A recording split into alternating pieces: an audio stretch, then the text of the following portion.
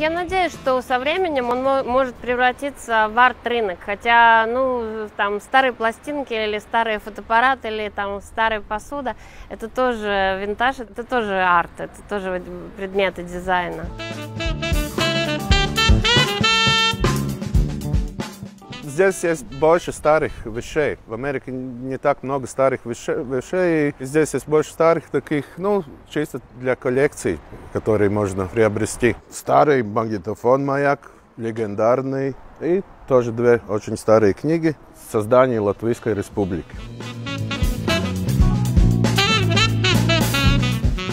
Смотрите, какая скульптурка. Вот иногда рождается ребенок, или на крестины идешь, и вот не знаешь, что подарить. А видите, какой прекрасный подарок. Фарфор – это очень интересно. И фарфор никогда не выйдет из моды. Многие говорят, что сейчас современная молодежь, это все было только у бабушек, и все это полная ерунда. Потому что я знаю много людей от 30 до 40 лет, которые сейчас не пьют уже чай из пакетиков, хотят пить заварной чай. И совершенно из красивой кружки, из красивого фарфора это будет совершенно другой вкус. В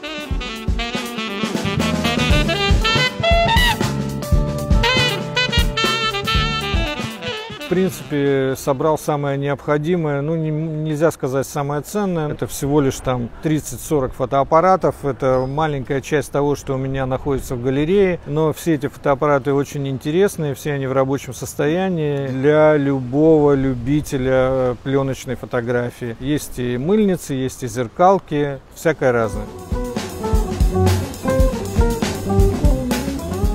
Работаем мы с настоящим материалом, мрамор, травертин, муранские смальты, делаем настоящие профессиональные художественные мозаики. А на фоне я увидел старую древнюю мозаику, которая тысячи лет покрытую патиной. Я, конечно, и до этого видел мозаики, но когда был на фоне, они, конечно, меня вдохновили. И в конце концов я втянулся, втянулся. Через какое-то время полюбил мозаику, она мне понравилась, открылась, скажем так.